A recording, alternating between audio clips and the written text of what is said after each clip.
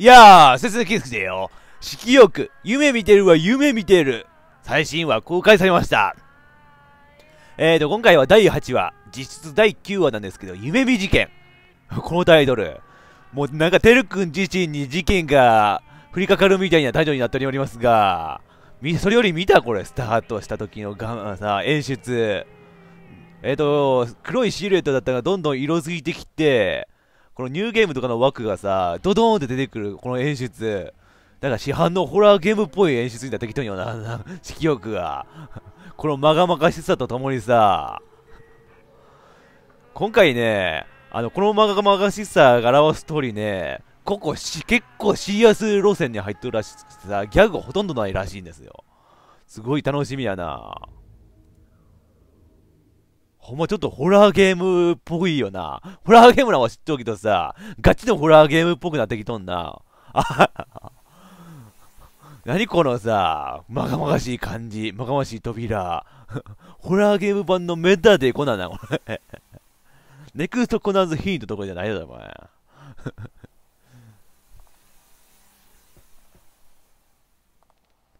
ここは、どこだ？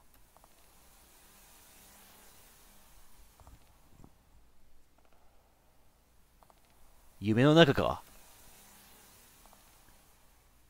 赤い夢だ。あの時、あいつに引きずり込まれたような。誰？誰だ？ああ、前にも見た中学生の頃のてるくんか。お前は？お前に言っておきたい。俺はお前の中にいる。もう一人の夢見てる。4年前に起きたある事件から、ここで色欲の力を抑え続けている。色欲を抑えてる？お前が？何その、黒崎いじこの中に眠るもう一つの、あの白い黒崎いじこみたいな感じのなんなんお前？謎の呪い、色欲、どうしてお前が知ってるんだ？呪いの正体はお前には言えない。それを思い出したとき、破滅が訪れるからだ。破滅？何が破滅するんだ？すべてだ。お前を取り巻く環境、そのすべてが破滅する。穏やかな日常を過ごすために空白の記憶が作られ、お前、俺とお前の魂は分裂した。お前は表で平和の時を過ごし、4年前に時間の止まった俺はここに残った。魂が別れたどうしてそんなことに？ルナを守るためだ。ルナをあー、ルナ出てきた すべてはルナを守るため。ルナを一緒に過ごすことはお前の使命なんだ。俺の使命なんでジェイソンさん出てきた あと犯人みたいな黒い目のところをせんやめて、ちょっと何か罪を犯したみたいになってますけど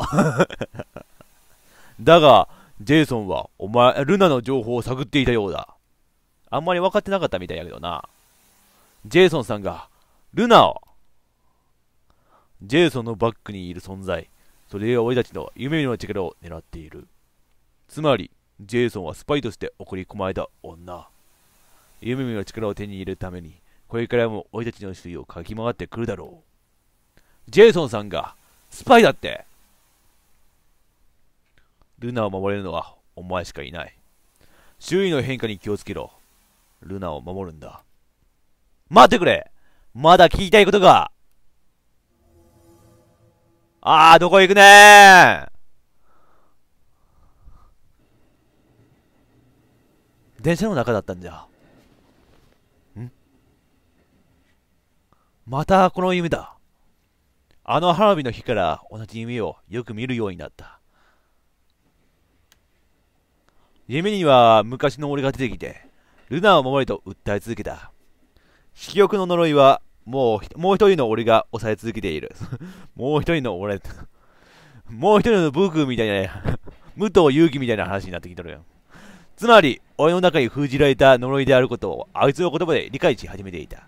もうさ、闇て、闇夢見てるって呼んだのが闇夢見てる。闇てる、闇てるにしとこう。もうあいつの名前、今回から闇てるって呼ぶわ、俺は。公式じゃなくても闇てるって呼ぶな。発端となったのは4年前。母と全国を回っていたあの頃。封じられた空白の記憶の中に恐ろしい重大な謎が隠されている。あ死んだみたいになった。死んだみたいな感じになっとるやんお前。白黒にしたせいで。色よく夢見てるは夢見てる。制作アイムシアンさん。いつもお世話になっております。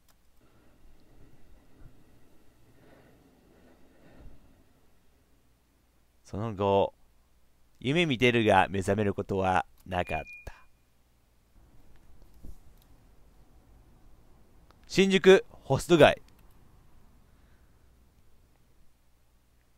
ホストクラブドリームズ。クローズ閉まっとんやな、今。あれ？休みになってる。今日は出勤日のはずなのに。やったじゃん、デル君 出勤のはずが臨時休業だぜ。やったぜ。家に帰ってモンハンでもやろうぜ、デルくん。どうした？どうした？このクローズットという掛け札にノリを感じたような効果音出たけど、鍵は開いているぞ。入ってみよう。開いてんの？龍河さん。龍河さん、不用心ね。鍵を閉めずに自分の店で出ていくって不用心ね。やっぱり、いつもの音楽が鳴っていない。みんな、どこに行ったんだ？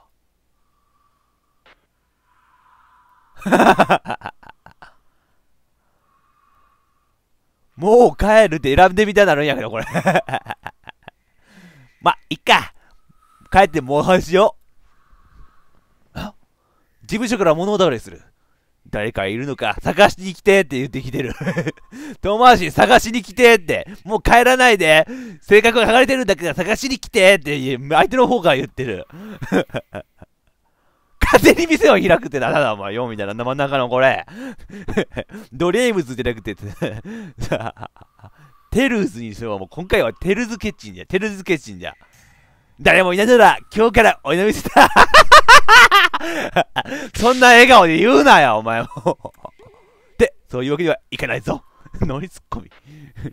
こんなシリアスな状態なのにさ、そのポーンっていう効果をどうにかじゃありませんかよっしゃ、事務所行くぞ。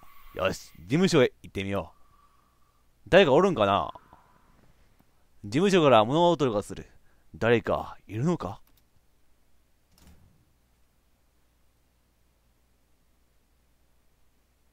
おおどうした？あ？てる、お疲れ様。ね、二人でおったんじゃ。なんか、え？どういう状況これ？おーす、てる。二人おるんだった。らなんでこんなクローズの状態なん？あれ？ゆりさんにキラ先輩。二人ともいたんですね。今日はどうしてお店を開いてないんですか？え、なん、なんなん？龍河さんが死んだみたいな深刻な空気になってる。死んだのあの人。いつの間に？龍河さんが急に出かけることになって、今日は休みになったんだよ。死んでもないんだよ。龍河さんが。ああ、珍しいよな。どこに行ったんですか？さあ、行き先も言わずに慌てて出て行ったからな。これ、龍河さんが猫だったら死に場所を探してるみたいになってるぞ、お前。これちょっとやばいじゃないですかね。臨時休業にするほどのようなのか。ああ、どうしてこのタイミングで、もう、闇テルが出てくるな。周囲の変化に気を、うわ、これ？周囲の変化ってこれ？テルどうしたの？えいや。まあ、ここにいても仕方ないな。俺はジェリーさん、ジェリーちゃんの店に行ってくるぜ。私も行こうかな。誰も行くか？わあ、まだ。ルナを守るんだ。いえ、ルナが待っているので帰ります。そうか？く、ルナちゃんばっかり可愛がって。妹だからね。それじゃ、戸締まりして帰ろうぜ。はい。それじゃ、また明日な。今日はしっかり休んでね。出る？はい。ほーん。これでさ、龍河さんがさ、次の日、大量に釣った魚を持ってきてさ、おーす、昨日は 大量だったぞみたいな感じで聞いたらさ、龍河さんの顔面殴っていいかな。釣りだったんかい釣りに行ってたんかい龍河さん、どこに行ってたんだ？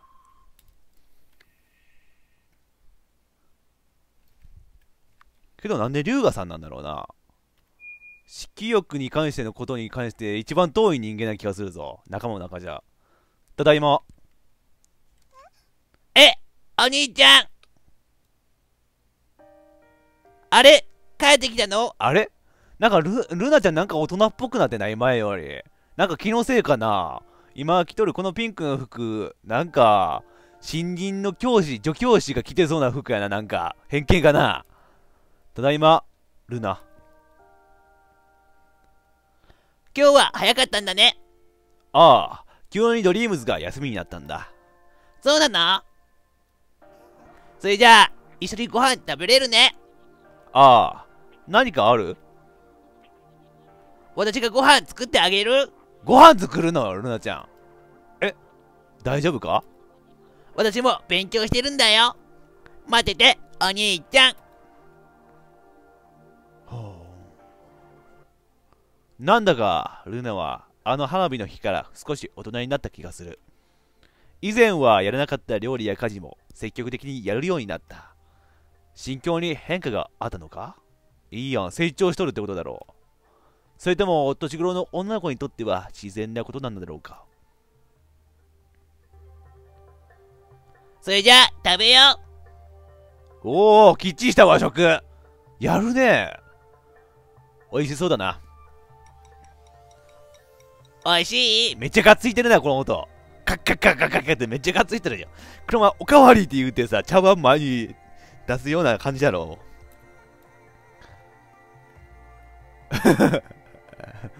あー、どっちにしようかな。うますぎーってさ、ギャルみたいに言うか、まだまだだなっていう、ちょっと越前龍馬みたいな感じで言うか、ギャルか越前龍馬か、越前龍馬だ。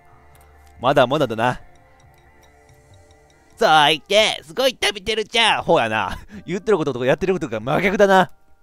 俺が作るのと味が全然違う。出汁が違うんだよ。だしにこだわってんのか。やるね、ルナちゃん。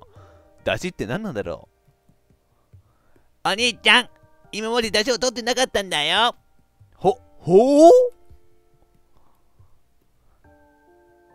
そうだ、デコルナにもご飯をあげなくちゃ。それにしても、ルナにこんなことができるなんて。みんなおしたぜ、ルナ。はい、デコルナ、たすかたくさん食べてね。全然泣かんねや、こいつ。もうちょいにゃーんっていう反応してほしかったよ、これ。あれ？食べないの？ここまで静かだったら逆に怖いな、この猫は。おどうした？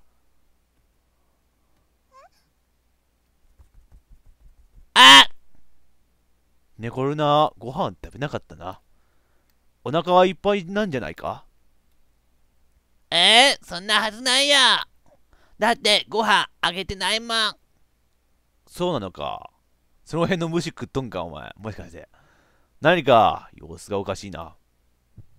まだかーお前、ちょいちょい出てくるな、お前。周囲の変化ってこういうところもかよ、お前。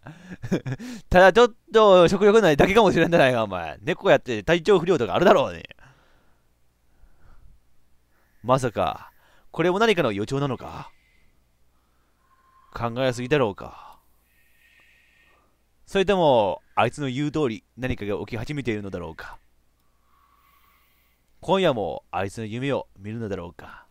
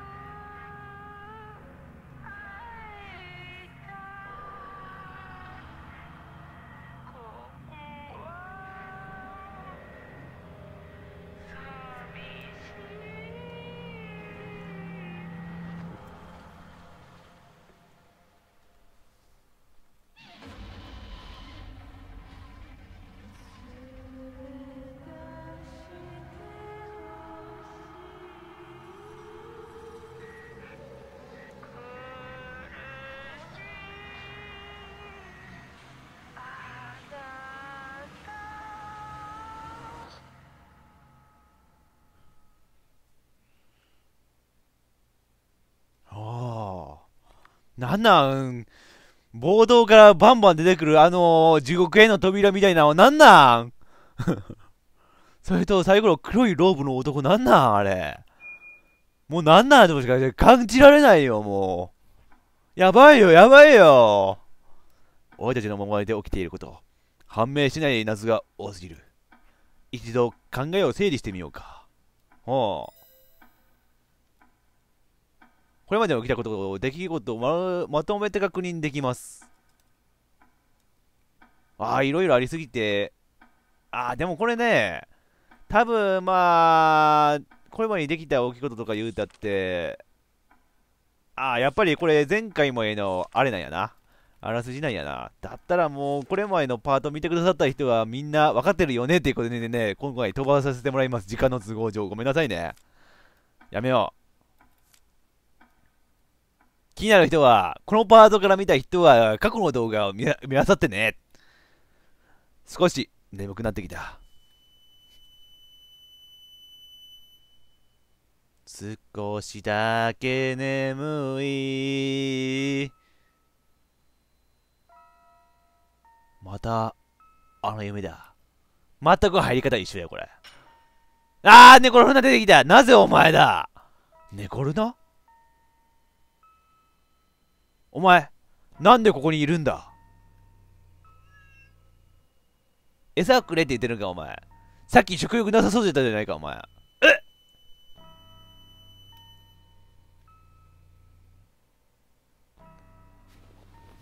どうした？お、おいどこに行くんだ？矢印をタップし、前に進んでください。お、新しいパターンじゃ。こんなタップせんでも前に進めばいいやん。俺が別にタップする必要なかったんじゃないの？不思議な場所だ。ちゃんと前に進んでいるのか、わからない。それになんだか、いつもより現実味があるぞ。マジでか？これ、どこに現実味なんか感じるのお前？本当に夢の中なのか？まだ 別に俺がやらんでもいいやん。ゲームシステムでどんどん進んでいけばいいやん。俺がタップをする意義はあるのか、お前。この夢、以前にも迷い込んだ気がする。ジェリーさんの店で4年前の話を聞いた後、突然昔の俺が現れ、夢に引きずり込まれた。あれは夢か現実かよくわからない不思議な出来事だったが、まるで昔の俺がそこにいるかのような現実味があった。それに4年前、ジェリーさんが迷い込んだという謎の場所、そのイメージにも近い気がする。突然迷い込んだ赤い場所。まさか、ここはその場所なのか。母と昔の俺がいてという赤い夢なのかああ、だからさ、その矢印をタップしの部分さ、いるかな？俺がわざわざ動かす必要ないんじゃないかなって思うんですけどね。どうですかね、作者さん。レコンルナお前、また来たのか？喋ったあいつらまたご飯をあげなかったんだね。誰だお前は？ほら食べな誰かいるのか？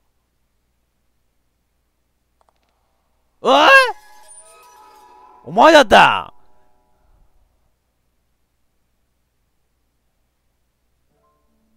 驚いたな。まさか、お前がここに来るとは。まあ、ここに来るとはって、紫で書いとくけん新キャラが出てくるかなと思っとったらさ、お前さ、字幕赤だったや。字の色赤だったや、お前の言うセリフ。なんで突然紫に変えてきたんだなお前。新しいキャラが出てきたかと思ったじゃねえか、お前。お前はいつも夢に出てくる。俺？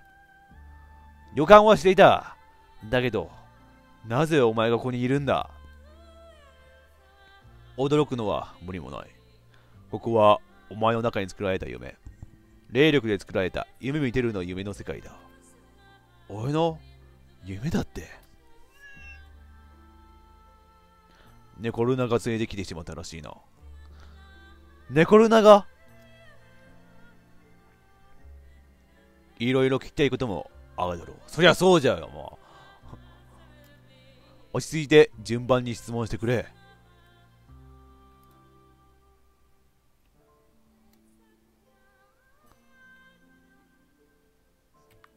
質疑応答タイム。卵焼きにかけるのは醤油？それともソース？どっち？